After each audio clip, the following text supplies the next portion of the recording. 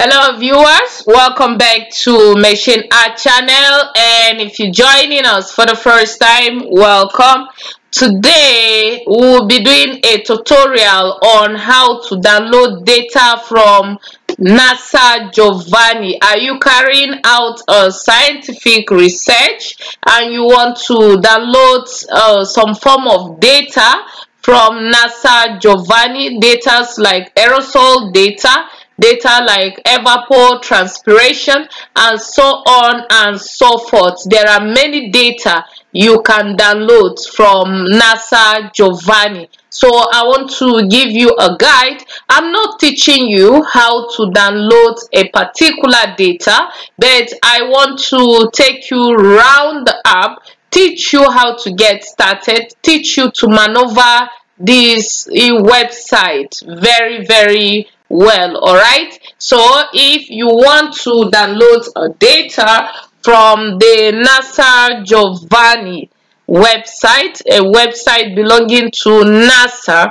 then all you need to do is to type the word nasa giovanni on your browser after launching your browser all right uh, you can use any type of browser you can use Yandex, you can use Opera Mini, you can use uh, Microsoft Explorer, Mozilla Firefox, and so on and so forth, and do what? And download your data. So type NASA Giovanni.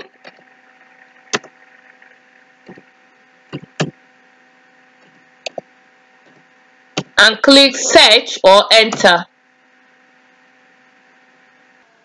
Then once you see NASA Giovanni, you see the options below it. Just click on NASA Giovanni.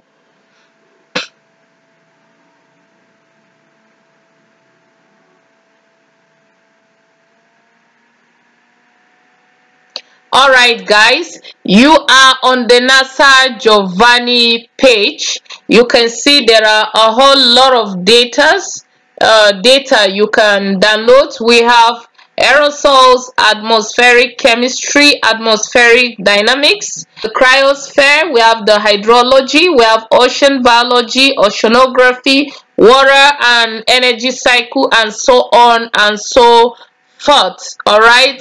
Then you have this welcome to giovanni page. All you need to do is to do what? Is to click on login first. Go to login and click.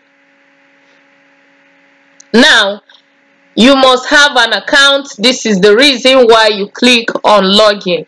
If you want to start using this website for the first time to download data and to you know consult a lot of materials all you need to do is to do what? Is to register. So instead of clicking on login here you click on register.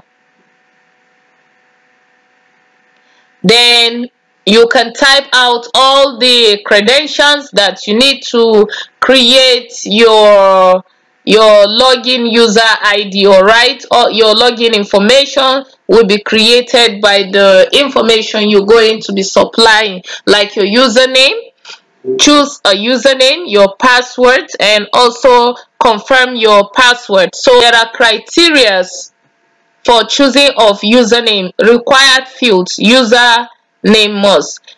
It must be a minimum of four characters be a maximum of 30 characters use letters numbers periods and underscores not contain any blank spaces not begin, end, or contain two consecutive special characters.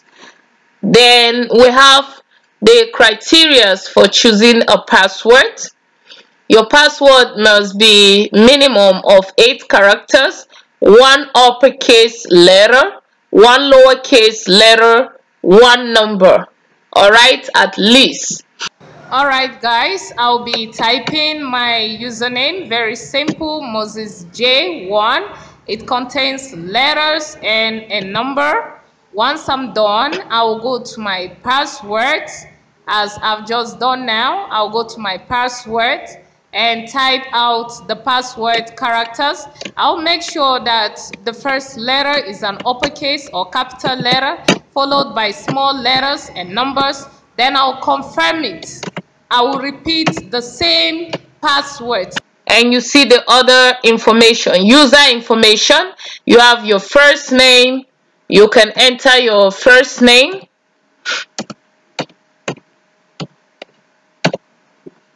Then your middle name. Then your last name.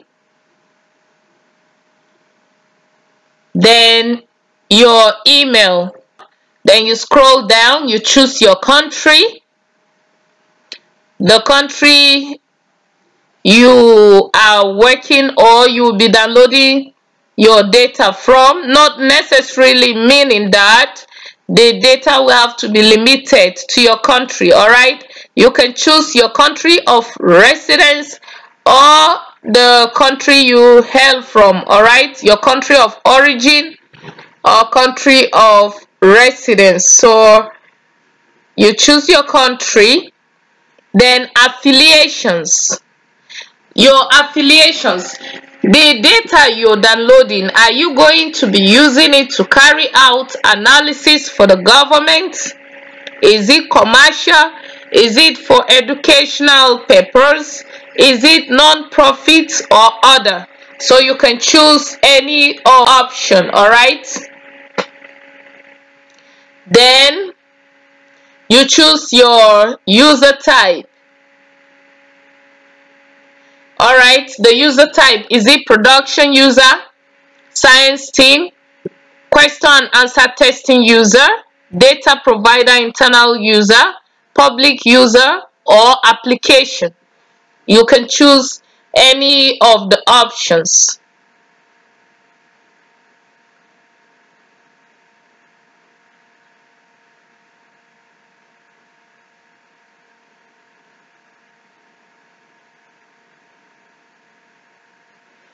Then you can choose your study area. All right you can choose uh, we have SC interaction atmospheric aerosols we have atmospheric composition biogeochemical dynamics biological oceanography we have clouds we have uh, cryospheric studies, we have geophysics, we have global biosphere, we have human dimensions of global change, we have hydrologic cycle, we have land processes, physical oceanography, we have polar processes, we have radiation budgets, we have sea ice, we have tropospheric chemistry, upper atmosphere composition, upper atmosphere dynamics, and others. You can choose any of the area, alright? You can choose any of the area, alright? Or you may choose others.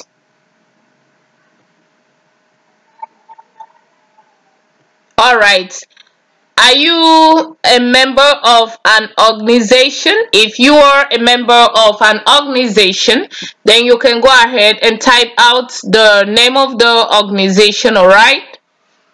If you are not the member of an organization or if you are not downloading this data for the purpose of using in another organization then you may do what? You may ignore that option except otherwise. Then you sign the agreement all right? Please notify me via email with important information about EOSDIS science data products e.g. updates new data releases quality issues and so on and so forth. Then you can sign if you are interested all right? If you're interested you check this box then you do what? You scroll down down you read the agreements general conditions for the utilization of ESA EO data definitions and so on and so forth. If you're finished reading it you can sign the yes I agree. Then you scroll down. Then you see the license agreement you uh, read through it and click on the box. You can check on the box all right then you sign the agreement. Once you're done you can click on this CAPTCHA that says I am not a robot. All right NASA Giovanni wants to make uh, NASA Giovanni wants to ensure that they are not dealing with a robot. All right then you can click on register for Ed data login. So then wait for the next page to display all right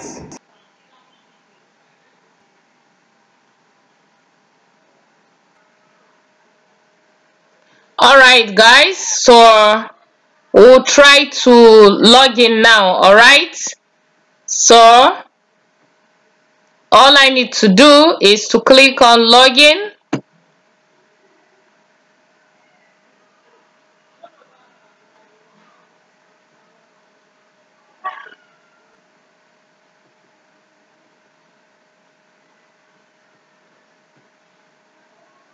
So once you click on login this page will display then you view the page. All right that's the end user license agreement. You click the page and click on agree. And you'll be logged in.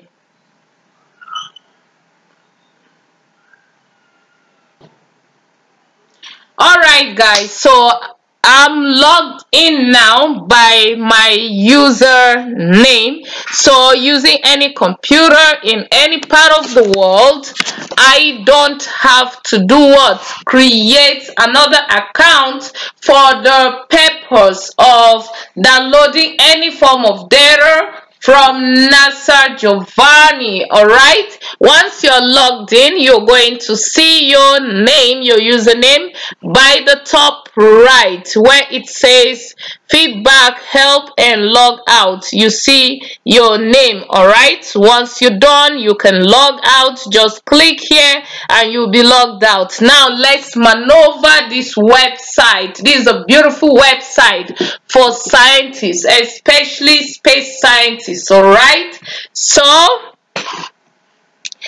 if you want to start any form of downloads all you need to do is to always remember the time that's the start and the end date of the data that's the range. This is uh, UTC all right it says select data range.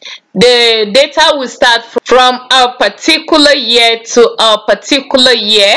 Then you can select region all right there is always that region all right in which you are downloading the data from or which you want the data to cover there must always be that special location that your data is covering. That's the meaning of this region all right?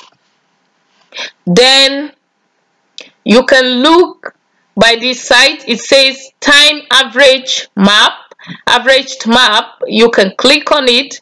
If you are looking for search all right then you have the select variables. Under variables you have observations you have disciplines and so on and so forth.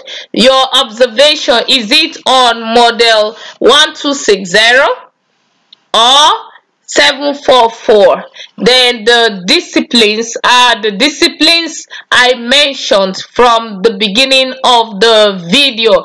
Aerosols data you have atmospheric chemistry atmospheric dynamics the cryosphere hydrology ocean biology oceanography water and energy cycle. Then you have measurements all right? Then under it you have platform. That's the instrument. You have spatial resolution. I did not explain measurement because you may be you should understand measurement. What kind of measurement?